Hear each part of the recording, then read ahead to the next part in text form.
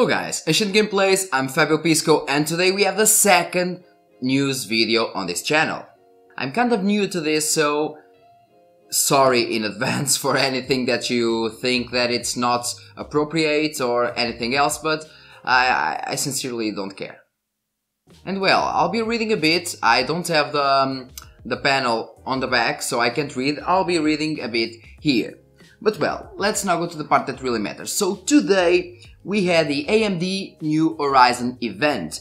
And well, and they just revealed the new specs of the upcoming Zen 2 CPUs, which is awesome. And well, if you are one of those guys who thought that the difference between Zen Plus and Zen 2 would be small, well, AMD says otherwise. Let's put clear all the known changes. So, improved execution pipeline, doubled floating point, 256 bit instead of the 128 bits on the Zen Plus, on the Zen Plus, sorry, my French K uh, took over, in this case the Portuguese, but it sounded like French, doesn't matter. And load store data, double bandwidth of course, doubled core density, we'll talk about this later, off the energy per operation because of the 7 nanometers versus the GlobalFoundries 12 nanometers, improved branch prediction, better instruction prefetching, re-optimize instruction cache, large op cache, increase dispatch and retire bandwidth,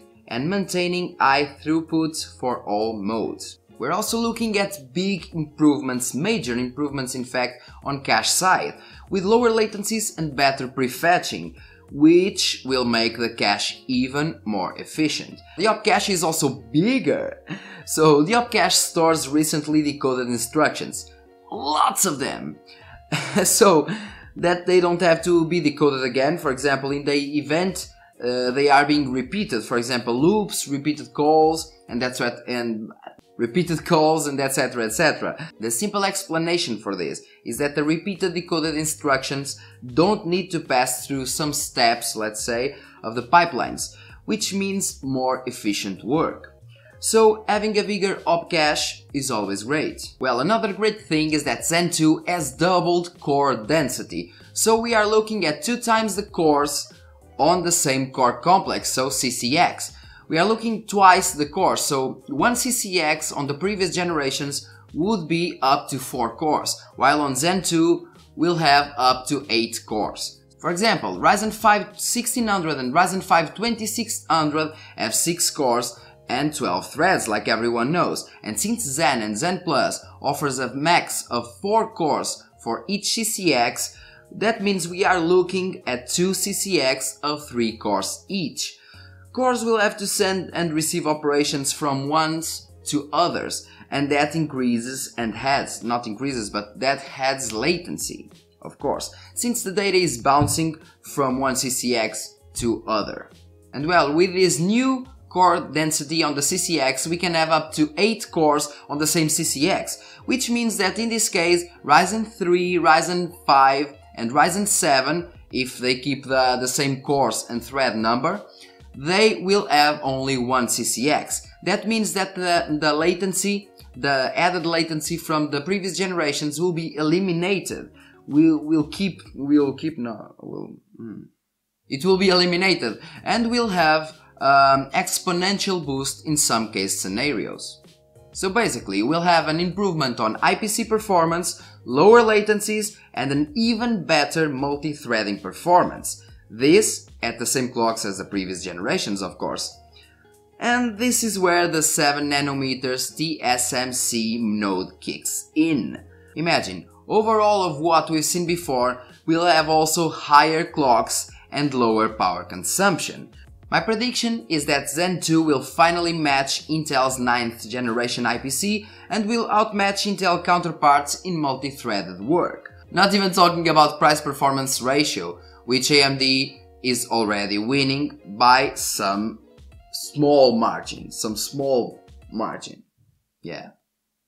Another thing about this event is that AMD also talked about the AMD EPYC Rome series, which will have all the improvements we talked about before and use two chiplets which will be connected by a large input-output die.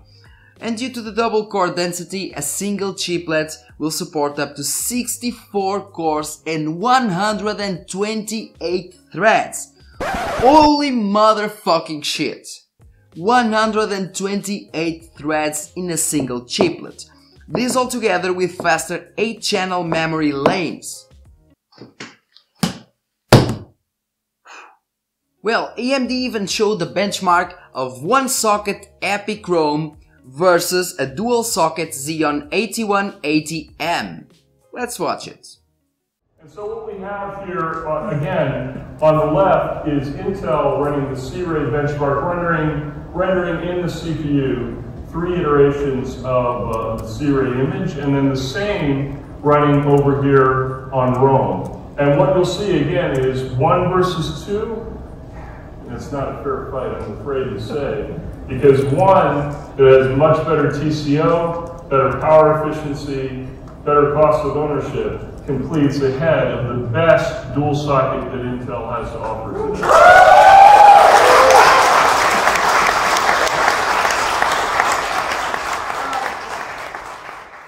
Yeah guys, the one socket EPYC costing less and with way less power draw one versus a dual socket Xeon.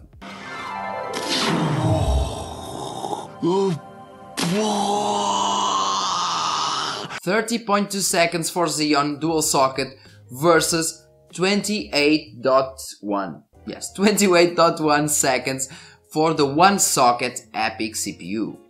Also, the EPYC CPU is not using a mini fridge or technically speaking a chiller. Bam Intel. So concluding on Zen 2, on Ryzen for example, Ryzen 3rd generation, we'll have higher IPC, higher simultaneous multi-threading performance, we'll also have less latencies, higher frequencies and lower power draw. This is a major leap from the Zen Plus generation, so lots of redesigned things and improved things and overall better performance, lower power draw. So we'll have um, matching, matching or maybe overtaking Intel's 9th generation performance um, at lower power draw. I can guarantee that, at lower power draw at least. Intel has hit a wall on, on their architecture a long time ago. Let's say like at Skylake. Skylake was the wall and they managed to, let's say, put a ladder and maybe go up one or two steps. But they can't go higher and they can't reduce it to 10 nanometers. They need a new architecture and they know it, of course. They want to do it, but they are not, um, they, they are not doing it well and they are trying to do it, but they are failing. And that's, uh, that's bad, of course. You may say that's good because, well, AMD is now winning, but it's not good, it's never good, we need competition on the market, we need Intel and AMD to be strong and to compete with each other so we can have progress. Because, well, Intel had the lead for several years and what have you seen of progress? Zero.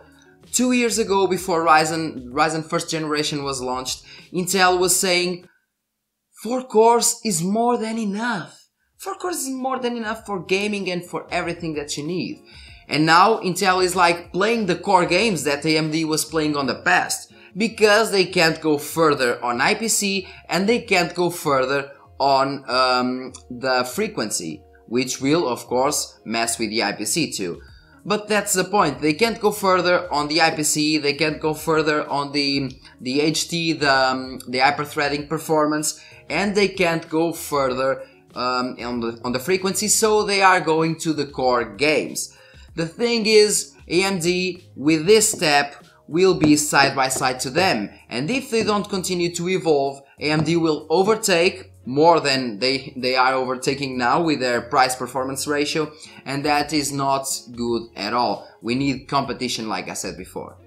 Sorry for anything, I'm not really uh, used to do this, uh, to do this kind of videos, news things, but I really, I really wanted to do it because I felt like I need to do this video because I am really excited for these new, these new CPUs and on the server markets mostly because AMD EPYC is killing completely the Xeon line, and so I'm really excited to see the times we have ahead.